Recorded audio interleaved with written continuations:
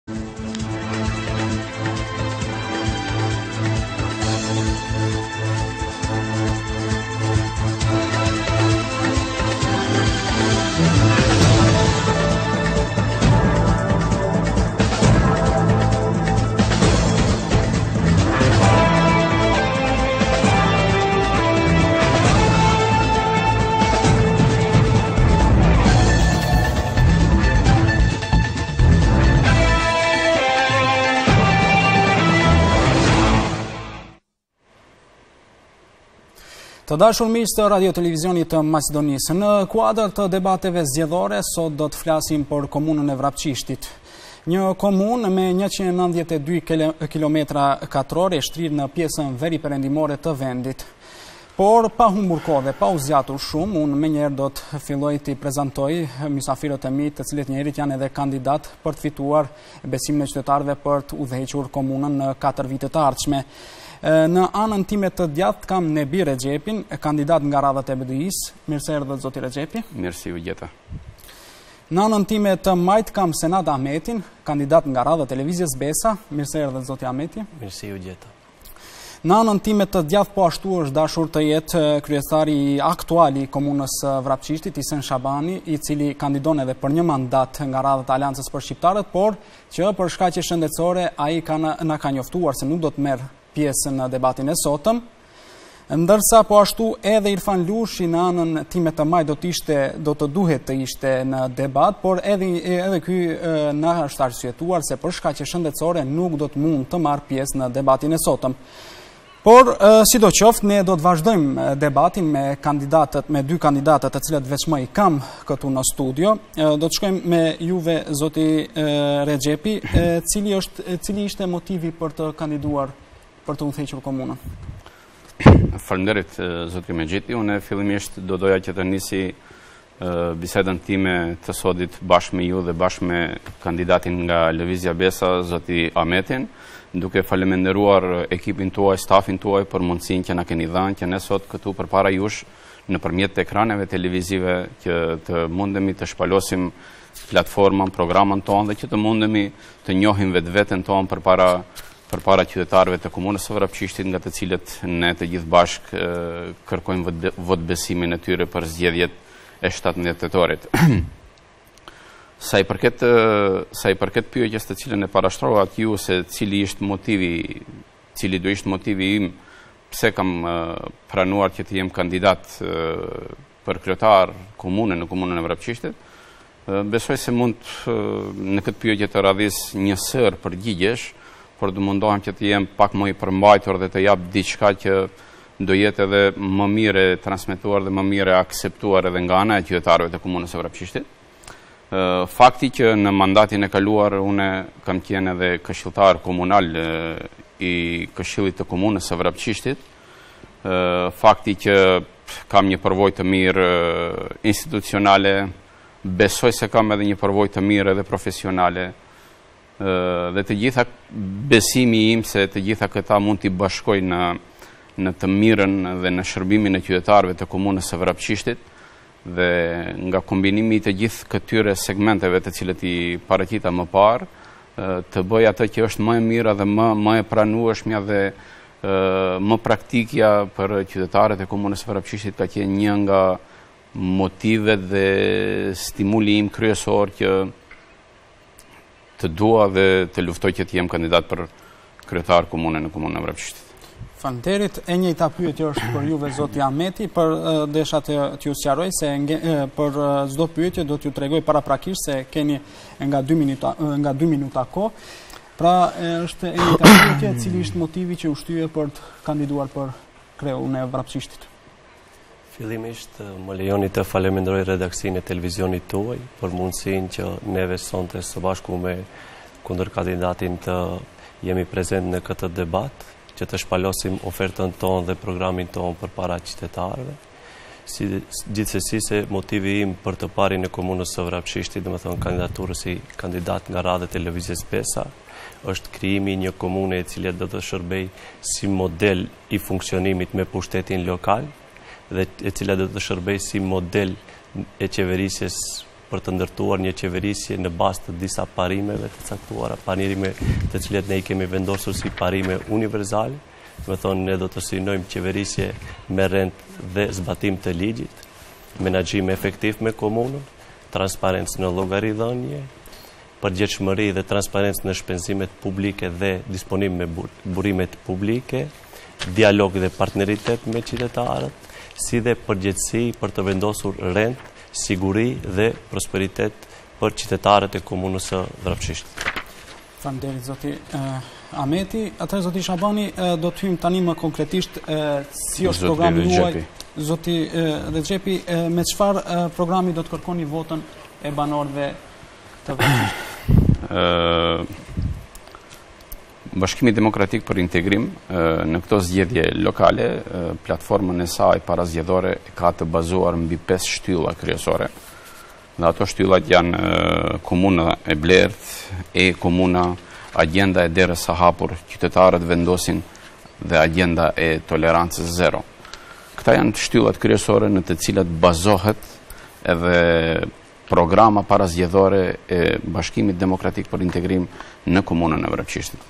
Mirëpo, jashtë kësaj, ne si subjekt i cili garojmë në nivel lokal për të parin e Komunës së Vrapqishtit, këta shtylla i kemi përpunuar dhe u kemi dhanë edhe një dimension tjetër i cili është dimensioni dimensioni i nevojave të qytetarëve të komunës së Vrapqishtit.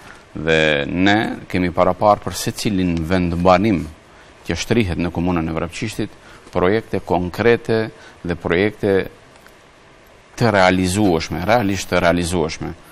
Do të doja të ju ndërpre, cilat janë tre projektet më kryesore apo top tre prioritetet kyçe të programit tuaj? Domethënë, projektet kryesore sigurisht që bazohen edhe në shtyllat kryesore të cilat ne i përmendëm edhe paraprakisht, është pak Ndoshta e, e, e palakmueshme që ne edhe në vitin 2021 ende merremi me premtime bazë të sigurimit të jetës jetës me cilësi të qytetarëve, për arsye se ne ende në komunën e Vrapqishtit si një komunë rurale ballafaqohemi me probleme elementare jetike për mospasjen e sistemeve të mira të ujësjellësve nëpër disa nga vendbanimet, mospasjen e sistemeve të mira të kanalizimeve, pa mos hyrë në pjesën tjetër e cila ndoshta në këto zgjedhje nuk duhet të jetë shumë fokus i premtimeve tona, po të jetë realisht vetëm vetëm shpalosje e asaj që ne do japim maksimumin për realizimin edhe të premtimeve tjera të cilat kanë të bëjnë me përmirësimin e një shkalle tjetër të mënyrës së jetesës në komunën e Vrapçishtit. Do të kthehemi sërish tek këto projekte, për shkak se koha mbaroi prej 2 minutave. Zoti Ahmeti, cilat janë tre prioritetet kryesore me cilën do t'i keni ju si kandidat apo në qoftë se zgjidheni në krye të komunës së Vrapçishtit, cilat janë tre prioritetet kryesore për ju? Programi, domethënë, programi edhe i Lëvizjes Besa për këtë cikël të zgjedhjeve lokale është i pregatitur nga ekspertë të fushave dhe oferta jonë për menaxhim me komunën e Vrapqishtit do të jetë e bazuar në disa objektiva specifike edhe atë për zhvillim dhe investim në infrastrukturë, mjedis jetësor të pastër, në ofrimin e shërbimeve publike cilësore, në arsim cilësor, në decentralizim institucional dhe në instalimin modern të dixhitalizimit për nevojat e kohës. Sa i përket projekteve, domethënë tre projekteve konkrete, pasi që në bazë të asaj se neve kemi përgatitur, domethënë në mënyrë të tërësishme, investime në infrastrukturë, domethënë përmirësimin dhe mirëmbajtjen e infrastrukturës për asfaltimin sipas standardeve të BE-së të rrugëve dhe rrugicave si dhe objekteve infrastrukturore, po poqëse duhet domethënë të përmendim një ndër projektet konkrete, do të kisha potencuar rrugën përrreth autostradës në fshatin Gradec, e cila ka nevojë domethënë për rregullimin si dhe zgjerimin e rrugës sipas standardeve të Unionit Evropian, Duke u bazuar me këtë, do të potencoj edhe investime tjera, domethënë, konkrete, neve si komunë, duke marrë parasysh që komuna e Vrapçishtit ka afërsisht diku rreth 30.000 banorë, është e nevojës së patjetërsueshme, domethënë, ndërtimin e një ambulance komunale, domethënë, në bashkëpunim me pushtetin qendror, Ministrinë e Shëndetësisë si dhe institucionet tjera kompetente, duke marrë parasysh edhe shëndetin e qytetarëve, kemi vendbanime në territorin e komunës së Vrapçishtit të cilat nuk gëzojnë, domethënë edhe nevojat elementare sa i përket mbrojtjes shëndetësore, dhe si rezultat i kësaj ne do të bëjmë përpjekje për ndërtimin e një spitali komunal, dhe i cili do të jetë në shërbim 24 orë. Po ashtu, kemi paraparë, domethënë, si projekt konkret, pasi që, domethënë, flasim për projekte konkrete, është e nevojës që përherë domethënë në çdo cikël zgjedhor kandidatët edhe kryetarët e komunave edhe të mëparshmit porpo edhe aktual edhe në ciklin e kaluar zgjedhor është premtuar modernizimi i tregut të gjelbërt ne zotohemi se do të bëjmë modernizimin dhe do të bëjmë investime në tregun e gjelbërt në fshatin Negotinë do të rikthehemi sërish te këto premtime pra dhe mënyrën se si do t'i realizoni këto zoti Rexhepi A keni ide të qartë se ku do të siguroni mjetet për realizimin e programit tuaj? Po patjetër. Duke ditur se komunat rurale ballafaqohen me buxhet të vogël në krahasim me këto Patjetër që kemi ide dhe mendime të qarta se në cilat burime ne do të mundohemi të sigurojmë mjete për realizimin e asaj që ne do e premtojmë. Ashtu siç edhe ju e cekët, tani komunat rurale nuk posedojnë një buxhet të fuqishëm në bazë të cilit buxhet vetanak do mund të bëjnë investime të mëdha edhe për qytetarët dhe në nivel komunal, mirëpo unë duke i besuar asaj se njoh mirë strukturën vertikale të funksionimit të institucioneve qendrore dhe institucionit komunë, besoj se mjetet do të sigurohen më së tepërmi duke aplikuar dhe duke ndjekur programat e ndryshme të cilat shpalosen dhe nga ministritë e ndryshme nga qeveria dhe duke aplikuar edhe nëpër nëpër institucione të ndryshme ndërkombëtare të cilat janë të gatshme që të investojnë dhe të financojnë projekte të ndryshme në në të gjitha komunat në nivel të Republikës së Maqedonisë së Veriut. Unë edhe gjatë mandatit të kaluar në cilësinë në cilësinë e këshilltarit komunal kam dhënë kam dhënë kontribut dhe kam kontribuar mirë që në komunën e Vrapçishtit edhe përkundër asaj që Bashkimi Demokratik për Integrim ishte në pjesë e opozitës, të siguroj realizimin e disa projekteve kapitale infrastrukturore në nivel komunal, kështu që besoj se e kemi të qartë dhe kemi adresa të sakta, dimë se si duhet dhe ku mundemi ne të aplikojmë që të fitojmë grante, të fitojmë mjete nga programat e ndryshme për realizimin e këtyre projekteve të cilat të cilat ne ne i prezentojmë përpara qytetarëve tonë. Por gjithsesi ne në programën tonë parazgjedhore si Bashkim Demokratik për Integrim si vjen e kemi edhe rritjen e rritjen e shkallës së decentralizimit fiskal. Domethënë nga 3 në 6% TVSH-ja tash do i kthehet do i kthehet komunës komunave, përfshirë edhe komunën tonë, Me këtë, neve do na rritet mundësia e rritjes së buxhetit vetanak nga i cili do mundemi të planifikojmë dhe realizimin e shumicës e disa nga projekteve të cilat ne do t'i prezentojmë përpara, i prezentojmë përpara qytetarëve. Faleminderit, zoti Nexhipi. Zoti Ameti, përmendët disa projekte infrastrukturore. Na thoni se si i keni planifikuar se si nga do t'i siguroni mjetet financiare? Po. Projektet të cilat do të jenë me kosto më të vogël, gjithsesi se do t'i realizojmë nga buxheti i komunës, pasi që dihet që komuna të ardhurat e saj i siguron nga tatimet, të ardhurat jo tatimore, të ardhurat kapitale e kështu me radhë, ndërsa projektet me kosto më të lartë do t'i sigurojmë nëpërmjet aplikimit në linjat për qasje në linjat e kredive, si dhe qasje në fondet e BE-së përmes projekteve konkrete.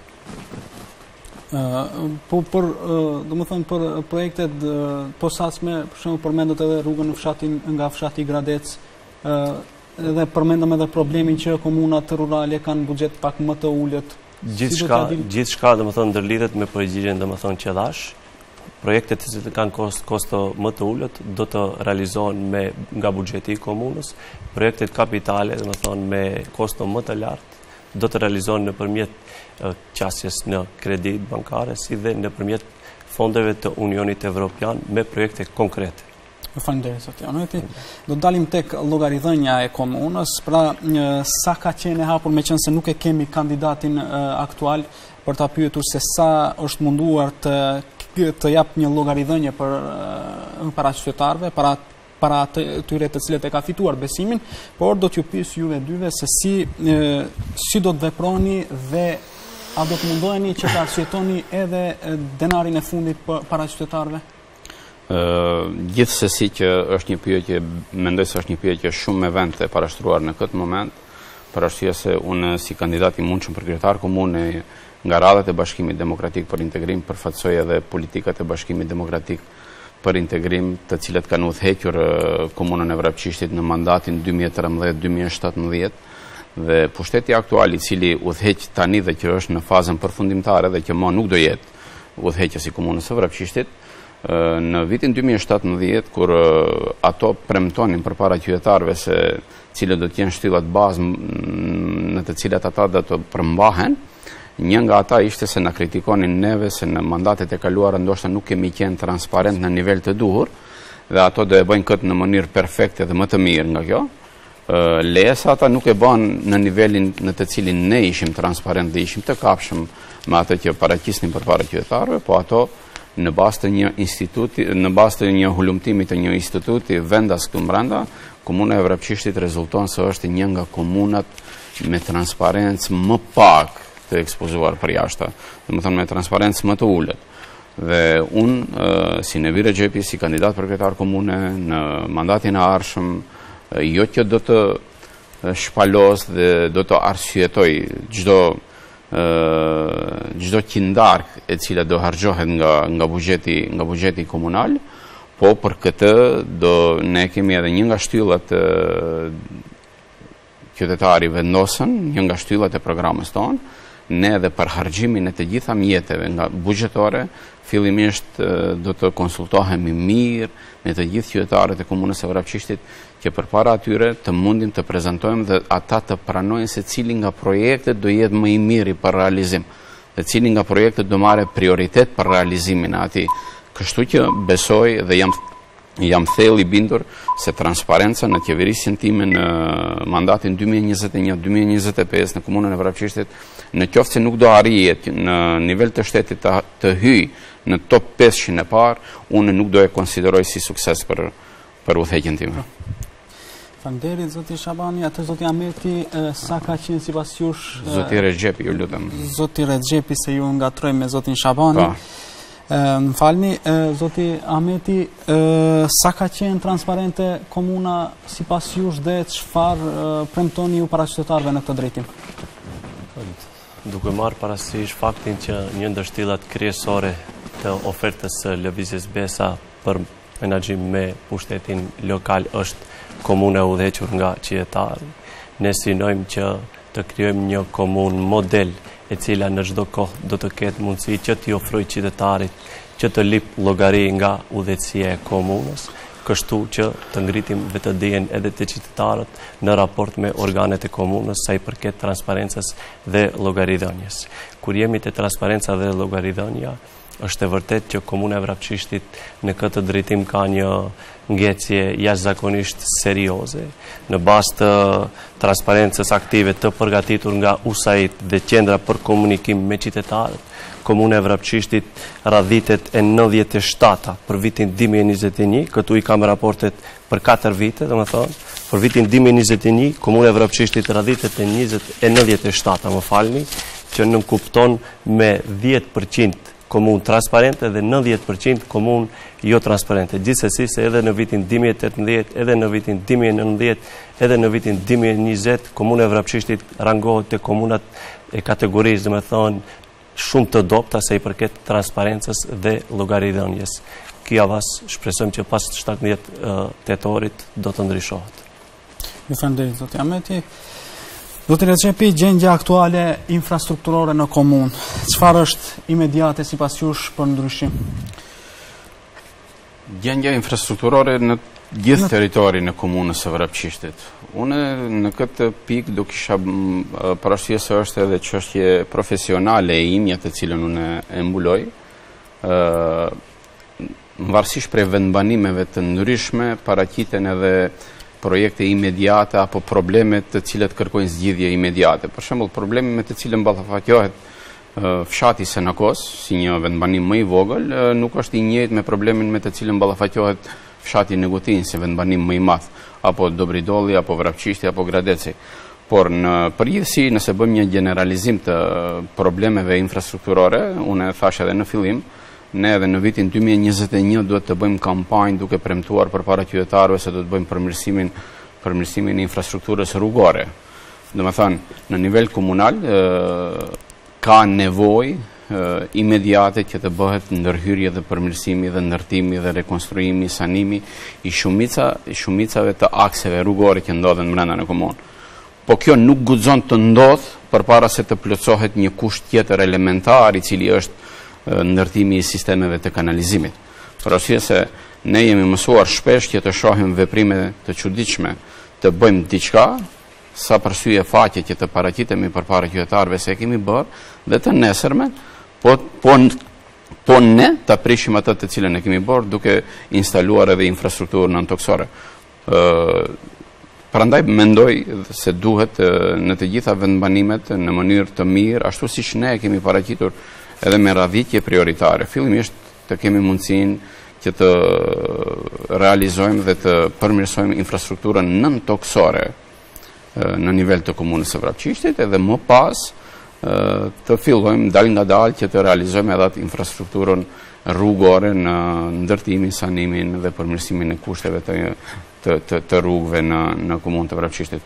Po kjo është sa i përket vetëm çështjes së infrastrukturës, Ka edhe segmente tjerë të cilët janë jetikë dhe të cilët kërkojnë ndërhyrje imediate për përmirësimin dhe dhe rregullimin e tyre në mirëfunksionim të të qytetarëve të komunës së Vrapçishtit. Zoti Ameti, sipas jush si e konstatoni gjendjen aktuale infrastrukturore në komunë? Çfarë është sipas jush më prioritare të rregullohet apo të investohet? Sa i përket infrastrukturës në komunën e Vrapçishtit, prioritare mendoj se është standardizimi i infrastrukturës në territorin e komunës së Vrapçishtit. Çka nënkuptojmë me standardizimi? Nënkuptojmë domethënë asfaltimin e mirëfilltë sipas standardeve të rrugëve dhe rrugicave në të gjithë territorin e komunës së Vrapçishtit. Dhe jo, domethënë, asfaltime gjysmake çdo tremujore apo vjetore afatshkurte. Ndërsa sa i përket infrastrukturës nëntokësore, ne duke u potencuar edhe në projektet kapitale do të angazhohemi, domethënë, për rrjetin e kanalizimit, domethënë, vendosjen e rrjetit të kanalizimit në vendbanimet, fillimisht vendbanimet më të mëdha të komunës, pastaj edhe nëpër vendbanimet tjera. Faleminderit zoti Ahmeti. Zoti Rexhepi, a keni apo cilat janë planet tuaja për këto fshatrat, do të thoja më pak të populluara që janë më në zonë më të thella? Po. Domethënë komuna e Vrapçishtit në vetë ngërthen edhe disa fshatra malore, vlen të përmendet Gjurgjevishti, Llomnica, Kalishti, Novosella dhe Vranjovca. Ne është shumë e vërtetë se këta fshatra edhe për përkundër asaj se janë, bëjmë, janë të përqendruara në një zonë malore edhe interesi i pushtetit, sidomos i pushtetit aktual, që të merret me problemet e atyre ka qenë shumë larg. dhe nuk ka qenë aspak i fokusuar në, në, në, në, në ndihmesën dhe përmirësimin e kushteve për jetesë në ato fshatra.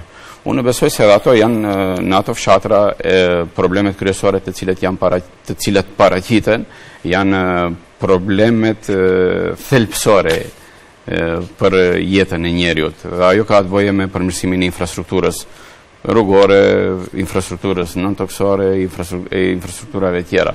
Besoj se ne në mandatin e ardhshëm, kur ne do të udhëheqim me komunën e Vrapçishtit, tashmë ne të gjithë e dim se komuna e Vrapçishtit është një ndër komunat e cila bën pjesë edhe në parkun e ri kombëtar Mali Sharr. Do të vëmë në funksion mënyrat më të mira të bashkëpunimit të komun, ndërmjet komunës dhe ndërmarrjes publike, e cila është në fazë në fazë e sipër të themelimit për menaxhimin me Malin Sharr, që të mundemi në bashkëpunim të përbashkët të mund të ndihmojmë ngritjen dhe rregullimin e infrastrukturës rrugore, fillimisht e cila do mundësojë qasje më të lirë deri në ato vende, po jo deri në ato vende, po qasje më të mirë edhe edhe në vendet rekreativo malore të cilat janë shumë afër këtyre vend, vendbanimeve malore. Pse e them këtë? Për arsye se kjo besoj se është një nga, një nga elementet bazë që të mund atyre qytetarëve të cilat ende kanë vendosur që të rrinë dhe të jetojnë në ato vendbanime, t'u japim një stimul dhe t'u japim një arsye se pse ato duhet të jetojnë atje dhe të mos mendojnë, mos fillojnë të mendojnë se ato sa më parë që të shpërngulen nga atje, Aq më mirë do bëjnë. Me përmirësimin e kushteve për jetesë, besoj se ne do të ndikojmë në mënyrë direkte që ata të të vazhdojnë besimin dhe të jetojnë afër afër të afërmve të tyre të cilët jetojnë në ato vendbanime malore. Do të flasim pak më vonë për bashkëpunimin mes komunave aty fqinje. Zoti Ahmeti, ju si e shihni zonën rurale, pra fshatrat rurale që janë pak më thella siç e përmendëm, Keni parapa ndonjë projekt konkret për ato fshatra? Duke marrë parasysh faktin që Komuna e Vrapçishtit përbëhet nga fshatra fushorë, po ashtu përbëhet edhe nga fshatra malorë, të cilët për hir të së vërtetës dhe për hir të rrethanave të caktuara nga pushtetet e kaluara lokale janë lënë anash. Gjithsesi se përkushtimi ynë do të jetë, fokusi ynë do të jetë i veçantë për fshatrat malorë, me të vetmin qëllim që edhe në fshatrat malorë të sigurojmë kushte thelbësore për jetesë, fillimisht, që më pastaj nëpërmjet fshatrave malorë të arrijmë të zhvillojmë edhe turizmin malor, pasi që potenciali i vetëm turistik i komunës së Vrapçishtit është turizmi malor nëpërmjet përmirësimit të infrastrukturës në fshatrat e malësisë, ne do të stimulojmë qytetarët, sektorin civil, që ndërtimin edhe të bujtinave. bujtinave, domethënë shtëpive malore, që do të shërbejnë nesër edhe si rekreacion për të gjithë qytetarët dhe për të gjithë vizitorët të cilët duan të vizitojnë komunën e Vrapçishtit, pse jo edhe të shërbehen edhe me qëndrime të ndryshme në territorin e komunës. Në pjesën infrastrukturës, infrastrukturore, kanë gjitha vendbanimet rrugë të asfaltuara, ujësjellës, kanalizim? Në fshatrat e Malësisë? Malësisë, po. Jo, në fshatrat e Malësisë, sa i përket infrastrukturës rrugore, është e mjerueshme fatkeqësisht. Kanë qenë edhe premtime edhe në ciklet e kaluara zgjedhore, por ngecet në këtë drejtim. Në këtë drejtim, keni paraparë plan konkret për mundësuar edhe zhvillimin e turizmit, siç që thatë më herët. Plan, plan konkret për zhvillimin e turizmit, domethënë përmirësimi i infrastrukturës rrugore, fillimisht pasi që është kushti bazë, thelbësor, domethënë për zhvillimin e turizmit malor. Faleminderit, zoti Ameti. Zoti Rexhepi... Vetëm diçka të shtoj në lidhje, po. këtë të cilën po, zoti Ameti... Po, keni një minutë replikë. Dua të plotësoj atë që Unë pajtohem plotësisht atë që e tha zotëri Ameti se ne duhet të përqendrohemi në zhvillimin e turizmit malor. Mirëpo në aspekt në aspekt në aspekt planifikues nuk duhet të jemi shumë optimistë se të premtojmë se do ndërtojmë ato bujtina, për arsye se vetë ndërtimi i atyre bujtinave në aspekt të ligjit për planifikim hapësinor parashef një periudhë parapregaditore që të arrijmë deri në pikën dhe fazën e fazën e ndërtimit të atyre bujtinave, kështu që unë besoj se do ishte shumë një premtim jo i realt në qoftë se ne do ju themi qytetarëve që ne gjatë këtij mandati do i ndërtojmë ato bujtina. Tashma kur edhe par, Mali Sharr është i shpallur park kombëtar, mënyra e menaxhimit të hapësirës në kufijtë e mbrojtur të Malit Sharr, ka një, ka një trajtim tjetër i cili trajtohet edhe në bazë të ligjit, për zonat e mbrojtura në Republikën e Maqedonisë së Veriut, prandaj ne si komunë duhet të japim maksimumin që të përgatisim dokumentacionin tekniko-urbanistik që të mundësojmë dhe të hapim rrugën e ndërtimit dhe zhvillimit të turizmit malor në atë segment. Ndërsa sa i përket infrastrukturës në vendbanimet malore, doja të shtoj atë se duke nisur nga Gjurgjevishti dhe deri në Vranjovcë, Unë besoj se të gjitha në një çfarë mënyre, ndoshta jo në sasi të njëjtë, po të gjitha bashkë kanë problemin, një problem të përbashkët. Dhe ajo është problemi i infrastrukturës rrugore fillimisht. Do të thotë do do të vazhdojmë sërish këtu. Okay. Keni ndonjë kundërreplikë në këtë drejtim? Jo, nuk e kam, unë e kisha në aspektin e replikës, po e kisha në aspektin e përmirësimit. Po, gjithsesi, gjithsesi është e pamundur fat që në në rrethanat aktuale Duket si e pamundur për faktin që Komuna e Vrapçishtit në këtë situatë aktuale që është, nuk është që disponon me turizëm malor, mirëpo nga diku duhet me filluar. Ka potencial qoftë se ka vullnet, gjendet edhe mënyrë për realizimin e atyre kërë. Ju faleminderit, zoti Ameti. Edhe një replikë, po, nëse ka mundësi. Po, urdhëroni, një minutë regjia mos harroni. Unë patjetër që pajtohem me atë që e thotë zoti Ameti, mirëpo ne fillimisht duhet të përqendrohemi dhe të rregullojmë çështjen e këtyre premtimeve në vendbanimet, fillimisht në vendbanimet më të mëdhaja, për arsye se jo që nuk do ketë nuk do ketë dëshirë dhe nuk do ketë vullnet për realizimin e kësaj, por ne e dimë se vendbanimet e mëdhaja ende hasen me probleme bazike, të cilat duhet t'i japin kahje zhvillimit të qëndrueshëm rural të atyre vendeve. Për arsye se Komuna e Vrapçishtit është komunë rurale dhe nuk Në në në kufijtë e saj nuk ka asnjë vendbanim urban. Në qoftë se ne nuk fillojmë nga dikundi që të japim sinjalizimin e parë që duam komunën tonë rurale të japim një një pamje urbane të vogël, po kjo nuk do bëhet brenda natës dhe nuk do bëhet brenda brenda brenda një mandati, po brenda një mandati mund të niset gjithçka e cila do ndikojë dhe e cila do japë kornizat bazë, të cilat në të ardhmen do e trasojnë edhe rrugën se si komuna e Vrapçishtit nga një komunë rurale të, të transformohet në komunë urbane, përfshirë edhe vendbanimet malore. Faleminderit zoti Rexhepi. Atëherë zoti Ameti do të dalim tash do të mbesim tek këto çështjet elementare për jetesë. E kemi pasur një denoncim se në fshatin Negotinë nuk funksionon filter stacioni i ujit Përse nuk funksionon dhe si do ta zgjidhni ju këtë problem për shkak se e dim që bëhet fjalë për një nga fshatrat më të mëdha në komunën e Vrapçisht. Gjithsesi se përgjigjen aktuale, do të kishte qenë e rrugës, domethënë të jetë edhe kryetari aktual. Fatkeqësisht atë nuk e kemi që t'ja parashtrojmë pyetjen pse nuk funksionon.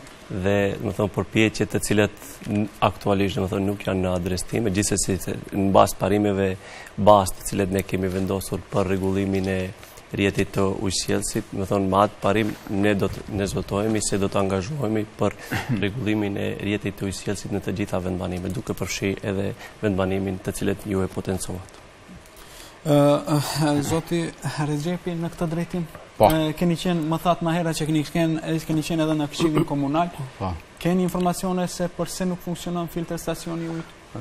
Po, është e vërtetë se unë bashkë me kolegun tim kundërkandidatin oponentin nga Lëvizja Besa kemi qenë deri në një periudhë bashkë në këshillin komunal të Vrapçishtit.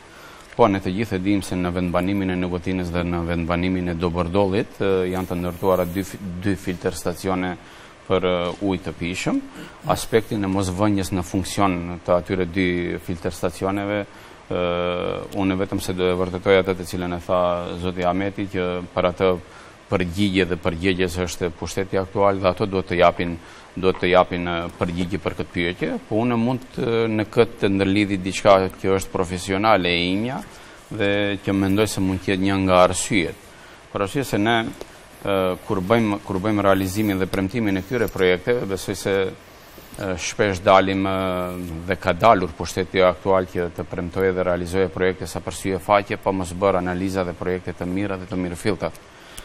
Ne të gjithë e dimë se në kuadër të komunës së Vrapçishtit ka një ndërmarrje komunale publike e cila ushtron detyrën e saj dhe për hir të vërtetës unë gjatë periudhës kur kemi qenë edhe në këshillin komunal, në vazhdimësi e kam kundërshtuar mënyrën se si ajo ndërmarrje komunale funksionon dhe si ajo e kryen, i kryen obligimet e saja për të cilën është e themeluar nga këshilli komunal.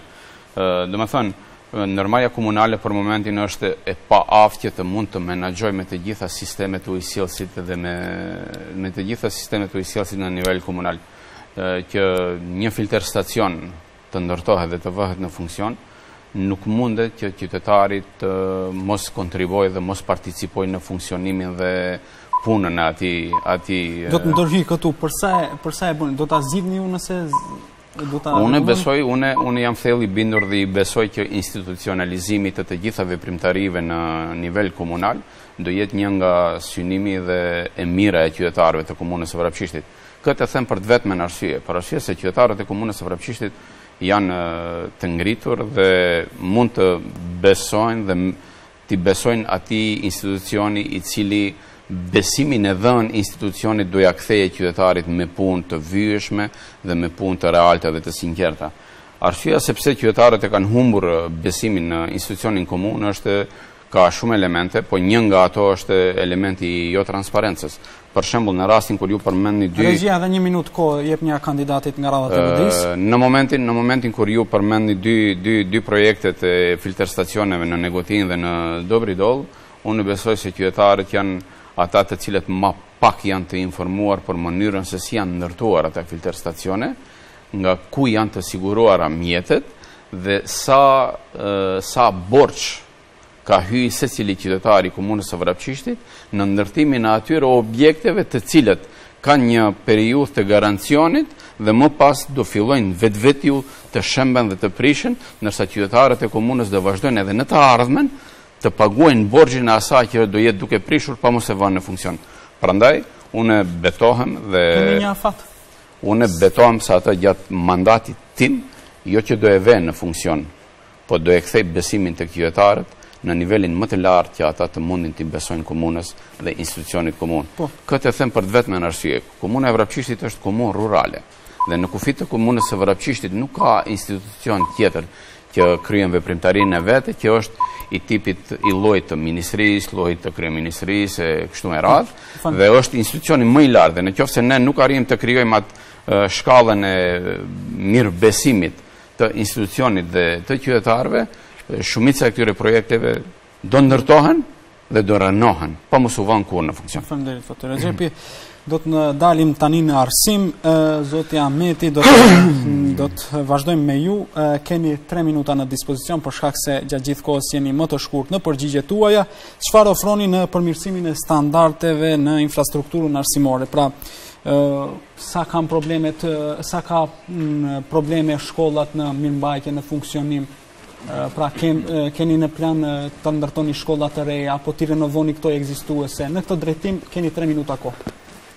Eh, ne si Lëvizje Besa, domethënë unë si kandidat nga radhët e Lëvizjes Besa për kryetar të komunës së Vrapçishtit, do të angazhohemi fillimisht për arsim cilësor, profesional dhe të pavarur, Ndërsa sa i përket pyetjes suaj lidhje me nevojat brenda institucioneve arsimore, ne do t'u përgjigjemi sfidave të kohës nëpërmjet pajisjeve me smart teknologji për një arsim më cilësor me mjete bashkëkohore.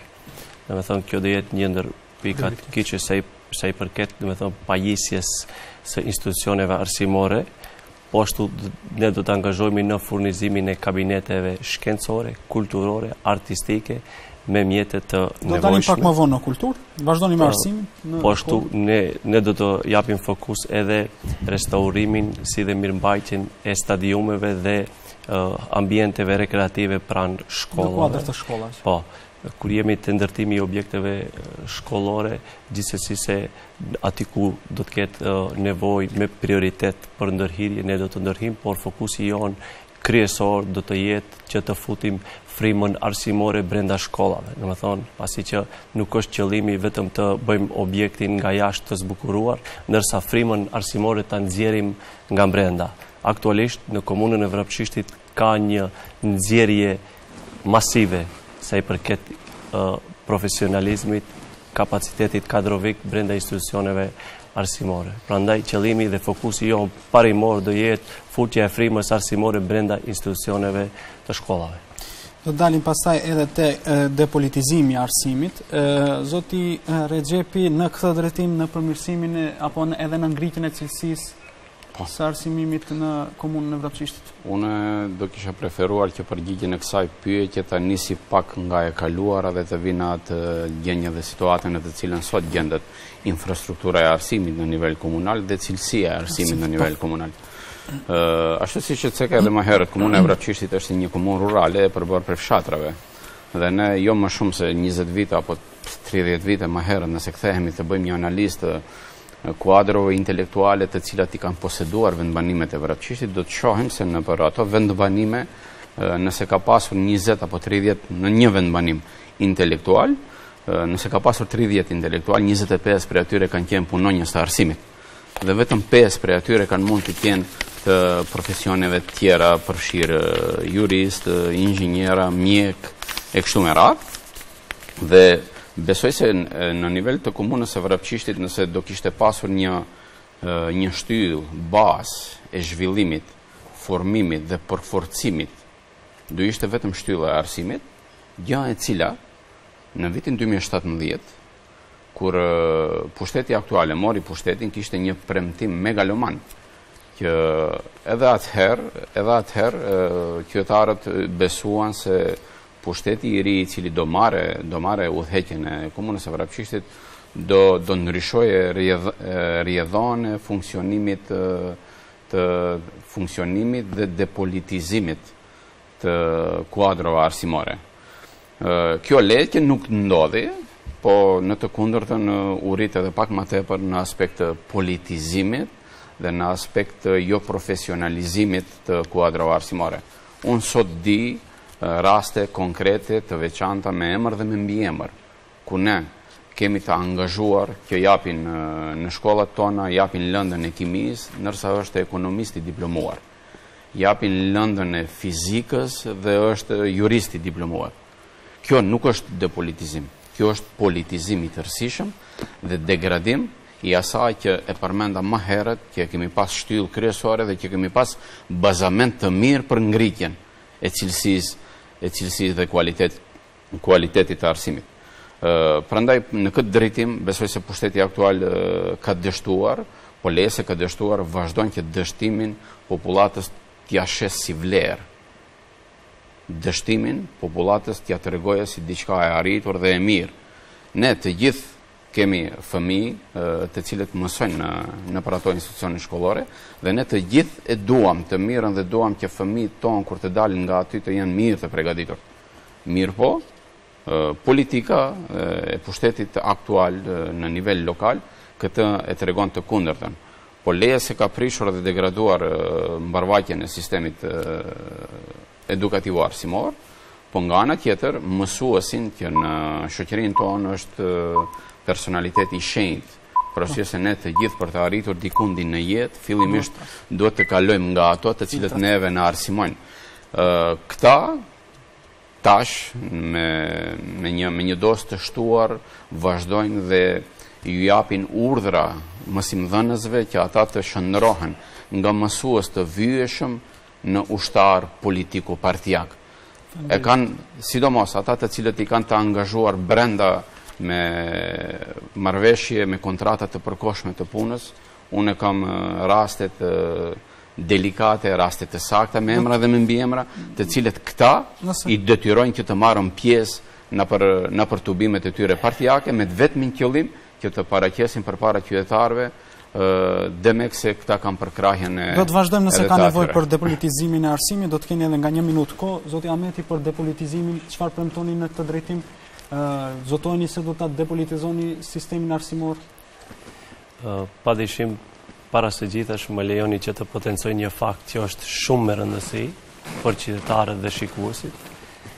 Lëvizja Besa, domethënë edhe ne si kuadro të Lëvizjes Besa, si një subjekt politik relativisht i ri, në këtë drejtim nuk kemi asnjë mëkat sa i përket politizimit të institucioneve arsimore. Politizimi i institucioneve arsimore në territorin e komunës së Vrapçishtit është plaga më e rëndë që politika i ka shkaktuar institucioneve arsimore. Me çka, në këtë drejtim, është bërë edhe një stagnim sa i përket procesit të zhvillimit arsimor, profesional dhe të pavarur. Kur jemi te depolitizimi i arsimit, ne do të angazhohemi që përzgjedhja e edukatorëve në çerdhet për fëmijë, mësuesit, si dhe profesorët të bëhet në bazë të kritereve profesionale dhe kritereve morale.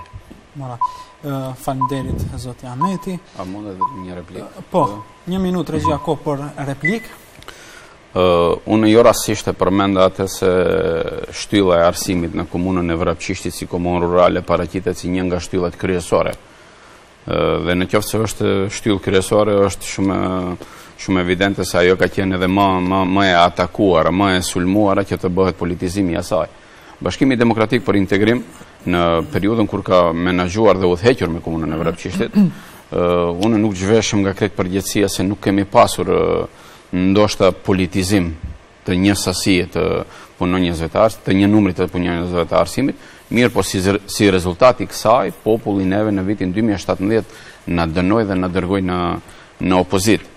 Por nuk na dënoi që të vijnë këta të cilët do e, do e, do e politizojnë shumëfishin e asaj të cilën ne e kishim bërë. Po jo vetëm politizim, nënçmimi më i madh që mund të, të, të bëhet dhe ndodh tash është se të gjitha kuadrot arsimore nënçmohen dhe kushtëzohen me kushte të papara dhe me kushte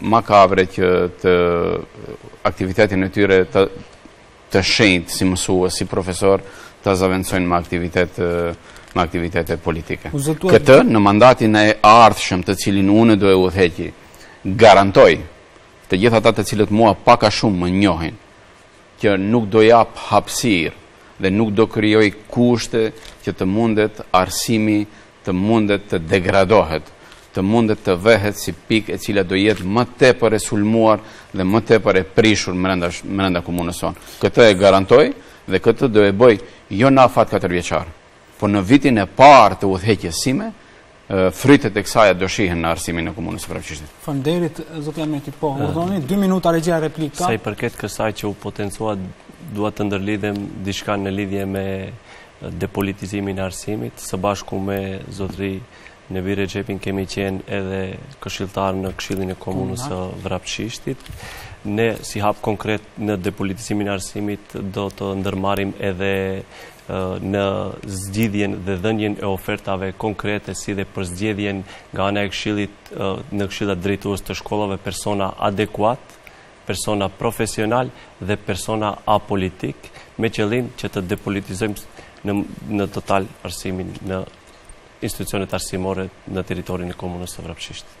Ju faleminderit zoti Ameti. Vetëm edhe një minutë nëse mundet. Po. Edhe një minutë kundër replikë, regjia, duke pasur parasysh se arsimi në nivel komunal është një nga një nga pikat më të dhimbshme të qytetarëve të komunës së Vrapçishtit, po edhe të shoqërisë në përgjithësi. Besoj dhe jam thellë bindur bindur që kërkon një një një një hapësirë më të madhe të diskutimit të këtij problemi me qëllim që të ofrimit të opsioneve më të mira dhe të ofrimit të programave të cilat këtë sëmundje do e shërojnë deri në aq sa, sa që të jetë funksionale dhe e pranueshme. Unë dua të garantoj se gjatë udhëheqjes time me komunën e Vrapçishtit në mandatin 2021-2025, përveç depolitizimit një nga segmentet përbërëse dhe përmirësuese të sistemit të arsimit do jetë edhe përzgjedhja e kuadrove profesionale, pa marrë parasysh se cilit subjekt politik, pa marrë parasysh në këtë zotohem dhe zotimin të cilin e bëj, e them me përgjegjësinë më të madhe përpara qytetarëve nga të cilët kërkoj besimin për udhëheqjen e komunës në katër vitet e ardhshme. Faleminderit zoti Rexhepi. Atëherë, zoti Ameti, do të dalim tani në uh, kulturë. Çfarë keni paraparë në programin tuaj qeverisës në pjesën e kulturës? Tani do të shtoj këtu se edhe keni edhe zëvendësministrin e kulturës, bashkëpartiaku i juaj, i cili ndoshta më lehtë do të ndihmon në realizimin sa më të lehtë të projekteve tuaja. Regjia dy minuta kohë për zotin Ameti. Gjithsesi, në atë çka u ndërlidha lidhur me frimën arsimore në institucionet arsimore, ne do të angazhohemi për kulturë, do të angazhohemi edhe me programe kulturore në menaxhimin tonë me Pallatin e Kulturës, gjithsesi në bashkëpunim edhe me pushtetin qendror, domethënë, aty e kemi edhe zëvendësministrin e kulturës. Ne do të instalojmë frymën kulturore në institucionet kulturore, ne do të përkrahim shoqatat joqeveritare të cilat me karakter, domethënë, me aktivitete kulturore, ne do të zhvillojmë dhe do të përkrahim të gjitha trashëgiminë kulturore në territorin e komunës së Vrapçishtit, do të mbështesim dhe do të stimulojmë artizanalet e vjetra të cilat janë autonome në territorin e komunës së Vrapçishtit, si dhe këto zeje do, do të tentojmë që t'i futim në bursën turistike të vendit. Faleminderit. Zoti Ameti, në aspektin e kulturës, pra në sferën e kulturës, keni paraparë, zoti Ameti? Unë këtë e kam përmendur edhe në një nga mbledhjet e këshillit komunal të cilën e kemi pasur, e kemi mbajtur dikundi nga mbarimi i vitit të kaluar. Kultura gjithsesi që është një nga segmentet përbërëse të një shoqërie demokratike dhe një shoqërie të zhvilluar. Mirëpo, kur një shoqëri ballafaqohet me mungesën e shërbimeve elementare bazë të jetesës, besoni se ajo shoqëri nuk ka shumë kohë që të merret me me kulturën dhe me organizimin e evenimenteve të ndryshme kulturore. Prandaj përbetimi im kryesor gjatë këtij mandati dhe gjatë kësaj kampanje, gjatë kësaj fushate parazgjedhore është që Fillimisht, t'ju ofrojmë njerëzve një komoditet dhe një mirëqenie që ata të arrijnë në shkallën ku do mund të fillojnë të mendojnë se duhet atyre t'ju ofrohet edhe një shërbim me aktivitete të stërmbushur kulturore artistike.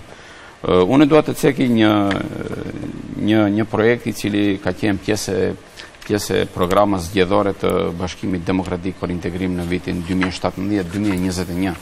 Për vendbanimin Negotinë, nga cili vendbanim vij edhe unë, ne e kemi pasur propozim rekonstruimin dhe rindërtimin e shtëpisë së kulturës, i cili është një rast i veçantë dhe besoj se është një ndër shtëpiat e vetme kulture, e cila gjendet një është ndërtuar në një vendbanim rural në gjithë territorin e Republikës së Maqedonisë së Veriut. Dhe atë, me ndihmën e pushtetit qendror, Ne arritëm edhe përkundër asaj që nuk ishim pjesë e pushtetit lokal, të ndihmojmë që ky premtim i joni, si shumë premtime tjera të cilat kanë qenë pjesë e programës sonë parazgjedhore në në 2017 të bëhen realitet gjatë këtij mandati kur ne nuk kemi udhëhequr me komunën e Vrapçishtit. Këtë e kemi bërë me të vetmin qëllim, për arsye se ne atëherë dolëm si fitimtarë të zgjedhjeve në garat e këshillit komunal, ku ne morëm edhe numrin më të madh të këshilltarëve në komunë dhe kishim si obligim e kishim si detyrim që ne besimin që qytetarët na dhanë me votë t'ua kthejmë me realizimin dhe realizimin e projekteve të cilat i kishim propozuar përpara atyre. Faleminderit zoti Rexhepi. Atëherë zoti Ahmeti e dim që emigrimi sidomos në zonat rurale por edhe në nivel rajonal është shndërruar në një fenomen. Emigrimi i të rinjve e kam fjalën. Keni ndonjë plan konkret për të do të thoya për të frenuar apo ngadalësuar këtë fenomen? Për t'i mbajtur të rinjtë kokën, do të themi këtu ta mbajnë. Ë Sa i përket emigrimit të të rinjve, si dhe popullatës në përgjithësi, e cila po ashtu është një ndër fenomenet dhe dukuritë më negative të cilën është prekur komuna e Vrapçishtit, ashtu siç edhe të gjitha komunat në, teri, në territorin e vendit. Ne do të angazhohemi, domethënë, për zhvillim ekonomik, që të zbutim papunësinë, Me ç'rast mendoj se papunësia është një ndër dukuritë e cila ndikon më shumë te largimi i të rinjve, mungesa e perspektivës për të rinjtë, domethënë në bazë të aktiviteteve të cilat do të zhvillojmë në kuadër të komunës, do të stimulojmë edhe investitorë të vendit, Investitorë të huaj do t'ju ofrojmë edhe gurbetçarëve, mërgimtarëve, domethënë mundësi dhe lehtësime të procedurave administrative në kuadër të komunës për të ardhur dhe për të investuar në komunën tonë. Po ashtu, lidhur me këtë, ne synojmë që të hapim edhe një zyrë e cila do të shërbejë, domethënë, për informacione, shkëmbimin e informacioneve të ndryshme për qytetarët e komunës si dhe për gurbetçarët. Po, keni ndonjë plan konkret në këtë drejtim për ndonjë investim? Investim konkret, thashë, domethënë, zbutja e papunësisë. Nëpërmjet thithjes tërheqjes dhe stimulimit të investitorëve. Në rregull, faleminderit, zoti Ahmeti. Në këtë drejtim, zoti Rexhepi e thamë që është fenomen. Unë dua nëse do më lejoni të kthehem edhe një minutë prapa kur ishim duke folur për çështjen e kulturës në në nivel komunal dhe të ceki dy dy minuta kohë regjia, mos ta harrojmë. Që të ceki dy dy dy pika shumë të rëndësishme të cilat kanë ndodhur gjatë këtij mandati të kaluar në në komunën e Vrapçishtit.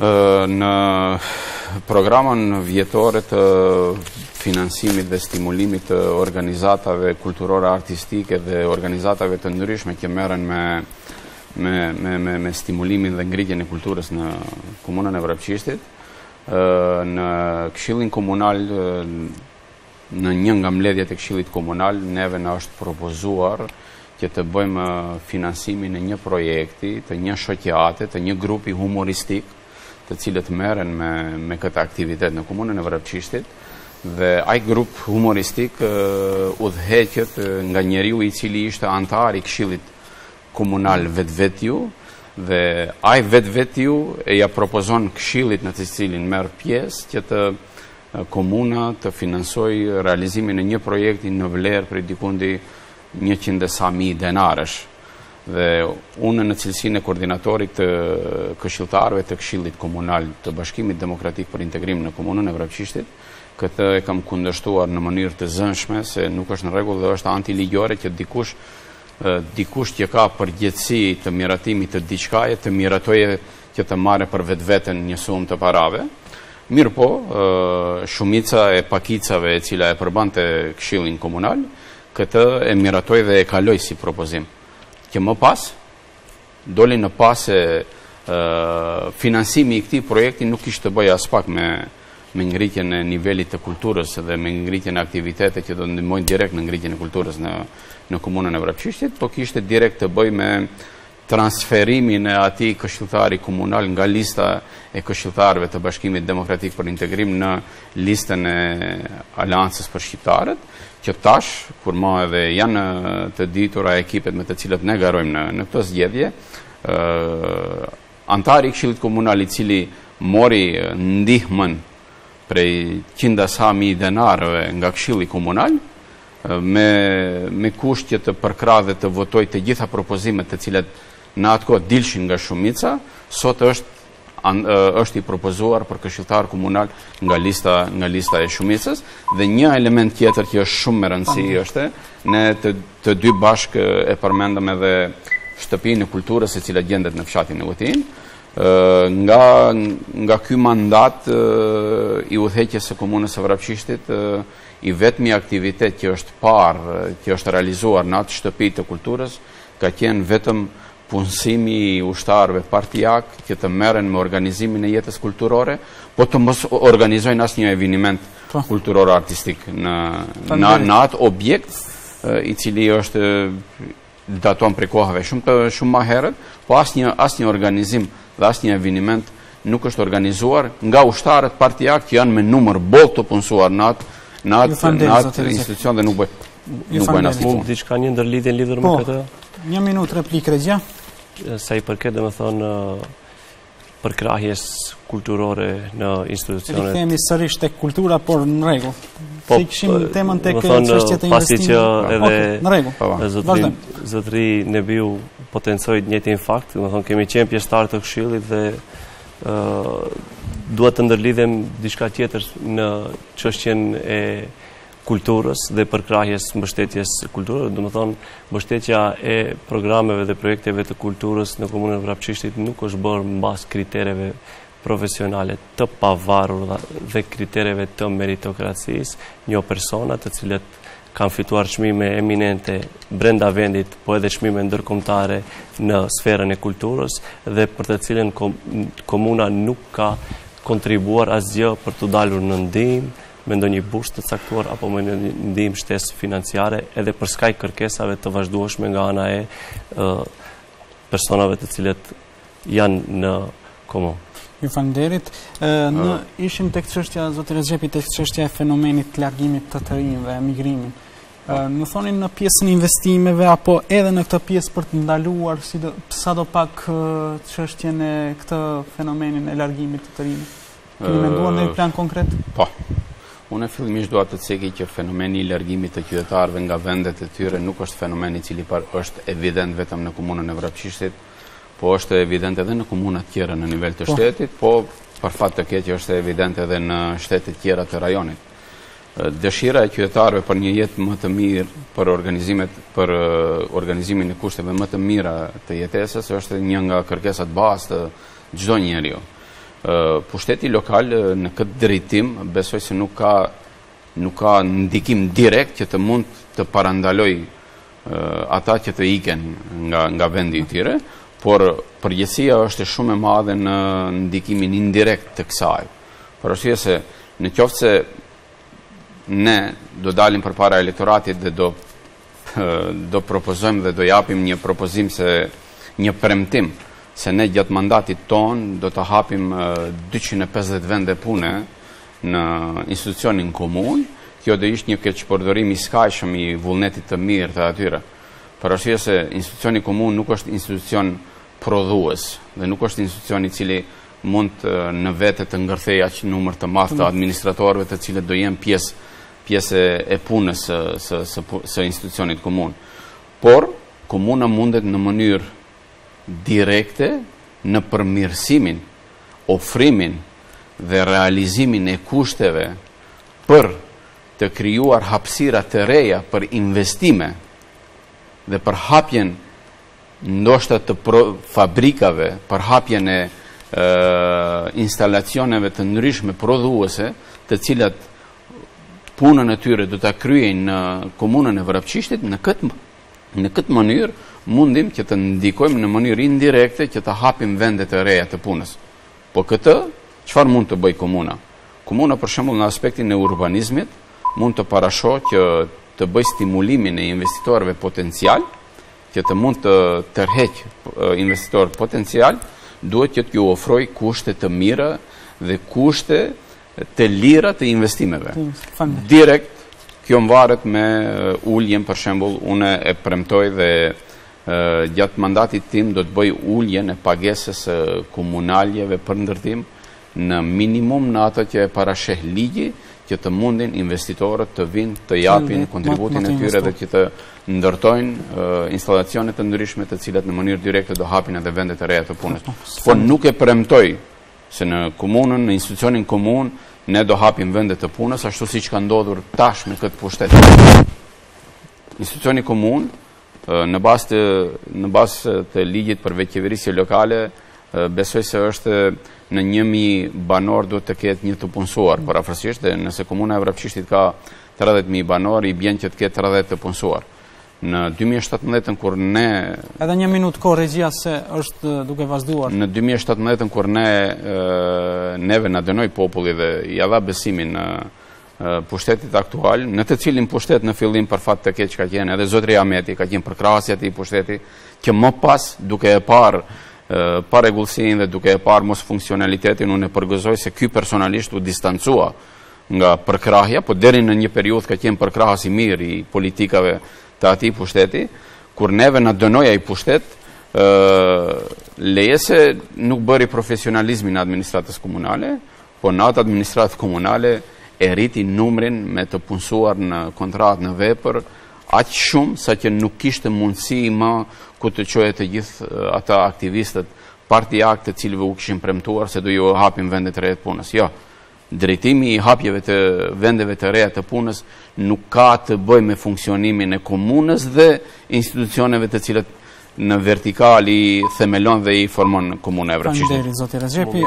Një replikë. Një replikë, po, një replikë një minutë e drejta për zotin Ameti. Pasi që u potencua në lidhje me atë se Kam qenë përkrahës i pushtetit lokal aktual, nuk është e vërtetë. Domethënë, në zgjedhjet e kaluara lokale ne kishim një koalicion në nivel qendror mes dy subjekteve politike, Lëvizjes Besa dhe Aleancës për Shqiptarët.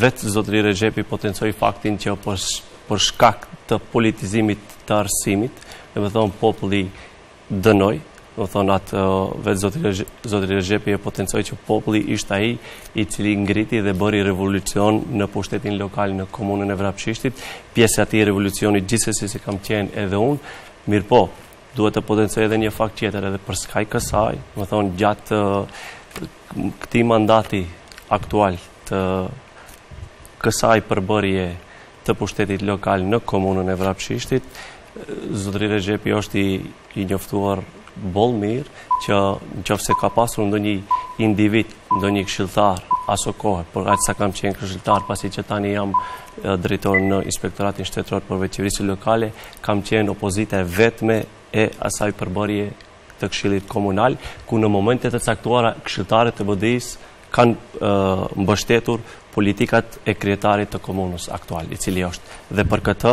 kam edhe dëshmi, po qe se është nevoja i potencoj. Ju faleminderit, zoti Ameti, atëherë, do t'dalim... Një replikë, një minutë që për zotin Rexhep Rexhepi. Nuk dua që karakterin e bisedës ta kthej në në karakter akuzash dhe kundërakuzash, por zotëri Ameti është i vetëdijshëm dhe besoj se atë e pranon me përgjegjësi shumë të madhe se ka qenë pjesë e koalicionit dhe ka qenë pjesë e shumicës e cila e ka votuar shumicën e këtij shumicën përbërëse të këtij këshilli komunal. Zotëri Ameti ka qenë anëtar i këshillit komunal tre vite, nëse nuk e gaboj unë. Tre vite pa një muaj ose dy muaj, ndoshta kanë munguar që të jenë tre vite, po dy vite radhazi dhe në debatet dhe diskutimet të cilët i kemi pasur unë si koordinator i grupit të Bashkimit Demokratik për Integrim dhe ju si koordinator i grupit të cilin ju e përfaqësonit në Këshillin Komunal, sa herë kam kërkuar nga ju që votimet të cilët bëhen, po që ne bashkë kemi konsideruar se nuk janë të dobishme për atë këshill komunal dhe për funksionimin e asaj komune, ju o i keni përkrahur ose keni ndejtur të abstenuar. Ndërsa grupi i këshilltarëve të Bashkimit Demokratik për Integrim është shumë e vërtetë se ka përkrah të gjitha pikat dhe të gjitha punët të cilat ne kemi konstatuar se ato kanë të bëjnë me përmirësimin e jetës së qytetarëve në komunën e Vrapçishtit. Pa marrë parasysh se ne kemi qenë opozitë, por për të gjitha pikat të cilat kanë qenë të ndjeshme dhe që ne kemi konstatuar se nuk duhet të votohen dhe kalojnë në atë këshill komunal, ne i kemi të verifikuar edhe në, nga ekstraktet e proces verbaleve që ne kemi votuar kundër dhe nuk është e drejtë ajo që ne kemi përkrahur në çdo hap pro, politikat e, e pushtetit lokal. Mundet replikë në lidhje me... Po, edhe një minutë të regja replikë për zotin Ameti, kundër replikë në fakt. Në Për këtë që potencoi zotëri Rexhepi, pasi që është e nevojës të përmendim edhe faktet, ka pasur momente të caktuara për çështje jetike të cilat është votuar në këshillat në këshillin komunal, një pjesë e këshilltarëve të BDI-së kanë përkrahur pikat propozim pikat konkrete veçanërisht për çështjen e tokave në fshatin Vrapçisht tokave tjetërsimin e tokave shtetërore, këshilltarët e Bashkimit Demokratik për Integrim jo gjithë, një pjesë e tyre kanë mbështetur pikat e shumicës aktuale e cila është në komunën e Vrapçishtit. Ne jemi, jemi shoqëri demokratike dhe e dim se vendimet nëpër këshillat komunal merren me shumicë. Unë si këshilltar komunal për aq sa kam qenë, domethënë, për tre vite, kam qenë i vetëm, domethënë, një dhe shumica mbivoton në raste të caktuara dhe ndërsa këta kanë përgjegjësia e këtyre është shumë më e lartë, pasi që kanë pasur 7 këshilltarë dhe kur është çështja e votimit, për pika, për çështje jetike, siç ishte tjetërsimi i pronave në shtetërore në fshatin Vrapçisht, këshilltarët e Bashkimit Demokratik për Integrim në atë mbledhje kanë votuar pro dhe unë kam dhënë edhe mendimin tem që ditën kundërshtar në atë mbëj pazar. Dhe me këtë nuk dua të bëj polemikë sa i përket debatit, pasi që kam respekt të konsiderueshme për zotërinë Nebi Rexhepin dhe Ju faleminderit. Jo, vetëm kundër replikë, një minutë që ta përmbyllim, pasi unë e çmoj shumë lartë punën aktivitetin dhe... Dhe gjithë, do të na mirëkuptojë edhe një minutë......punën dhe aktivitetin të cilën zotëri Ameti e ka dhënë në funksionimin atij këshilli, por nuk është e vërtetë se Bashkimi Demokratik për Integrim ka votuar programat vjetore për menaxhim me toka ndërtimore në Komunën e Vrapçishtit. Bashkimi Demokratik për Integrim dhe këshilltarët e Bashkimit Demokratik për Integrim. Një pjesë e këshilltarë. Jo, jo, jo, jo, jo. Një pjesë. Jo, jo, jo, gabim. Po që se është nevoja i nxjerrim edhe ekstraktet. Një prej atyre, një prej atyre është këshilltari i cili e mori edhe stimulimin për bërjen e një filmi humoristik, i cili kaloi nga ato. Më pastaj. Domethënë paraprakisht, paraprakisht programën e vitit 2018, programën e vitit 2019 dhe programën e vitit 2020 Bashkimi Demokratik për Integrim dhe grupi i këshilltarëve ka qenë kategorik kundër dhe kjo është jo jo për të ndaluar zhvillimin në komunë, po për mos mënyrën transparente të menaxhimit me ato procedura, jo për diçka tjetër. Dhe kjo nuk është ashtu siç e thoni ju dhe kam qejf që ashtu siç ka qenë, ashtu edhe ta shpalosni përpara. Për arsye se ne për këtë kemi edhe dëshmi, kemi edhe ekstraktet e procesverbaleve ku sepse ju e dini fort mirë se unë në secilën mbledhje të atij këshilli kam kërkuar Që përpos votave, të numërohet edhe kush çfarë ka votuar. Po. Prandaj kjo është çështje që mund të dëshmojë. Edhe edhe diçka mund të potencoj. Në fund, zoti Ameti. Do të thotë vetëm një çështje shumë shkurt. 30 sekonda. Shumë shkurt. Është e vërtetë, për atë që potencon zotri Nebi Rexhepi se këshilltari të cilin e potencoi ka ndryshuar radhët e tyre dhe është problematikë e brendshme e grupit këshilltarëve të tyre, mirëpo përskaj tij ka pasur edhe këshilltar tjetër i cili është nga radhët e Bashkimit Demokratik nga fshati Negotinë, po që se duhet edhe emrin potencoj i cili ka votuar pro, domethënë, vendimeve të caktuara dhe propozimeve të shumicës. më, kaq nuk dua të po, polemizoj. Po, të vazhdojmë polemikën tani, se kemi arritur në fund të debatit. Zoti Rexhepi, të faleminderit që ishe sot me ne. Zoti Rexhepi, ju faleminderit edhe juve që ndatë kohë nga kjo kohë e ngjeshur fushate të vini këtu në TVM2 për të shpalosur programin tuaj. Faleminderit për ftesë. Komunën e Vrapçishtit, ju faleminderit. A mundet edhe nga një fjalë përmbyllës meqë jemi në kampanjë dhe në fushatë parazgjedhore, që të përmbyllim edhe ne... Një minutë, regjia, për fund, për dy kandidatët nga një minut dhe e përmbyllim. Faleminderit, zotri Mexhiti. Unë për fund deshta edhe njëherë t'ju falemenderohem për mundësinë që na dhatë neve këtu që të shpalosim programën tonë, të shpalosim debatin tonë dhe ofertën tonë përpara qytetarëve. Unë dua edhe njëherë të ceki që Bashkimi Demokratik për Integrim në këto zgjedhje hyn me një platformë shumë të qartë, me projekte shumë të qarta dhe me projekte realisht të realizueshme në mandatin e ardhshëm të cilin ne do udhëheqim, po kjo bazohet në ato shtyllat kryesore të programës së Bashkimit Demokratik për Integrim, për arsye se Bashkimi Demokratik për Integrim edhe në të kaluarën, politikat bazë i ka bazuar në shtyllat kryesore që t'i prijë të ardhmes dhe të paraqitet në rolin e udhëheqësit, Kështu që edhe agjenda e gjelbërt, agjenda e blertë e Bashkimit Demokratik për Integrim pikërisht fokusohet në këtë që ne duam që t'i prijmë të ardhmes në komunën tonë dhe jo të ndjekim të kaluarën. Edhe pse e kaluara për ne është një bazë, një themel, një bazament shumë i fortë, i cili na e cila na jep fuqinë dhe sigurinë e asaj që të ndërtojmë shoqërinë dhe të ngrejmë shoqërinë në një një, një nivel më të lartë drejt së ardhmes. Faleminderit zoti Rexhepi. Zoti Ameti për fund Fillimisht më lejoni të që të falenderoj juve si moderator i emisionit për ftesën të cilën e patëm dhe debatin të cilin e zhvilluam. Mesazhi im i fundit është për qytetarët e komunës së Vrapçishtit të votojnë me mendje, të votojnë me zemër, të votojnë për më të mirin, të votojnë për një komunë në të cilën do të ndjehen si në shtëpinë e tyre. Ju falimderit zoti Ameti, ju falimderit zoti Rexhepi. Falimderit juve. Të dashur shikues, kemi ardhur këtu në fund të këtij emisioni debativ. Unë ju falenderoj që na ndoqët dhe bashkë mirupafshim.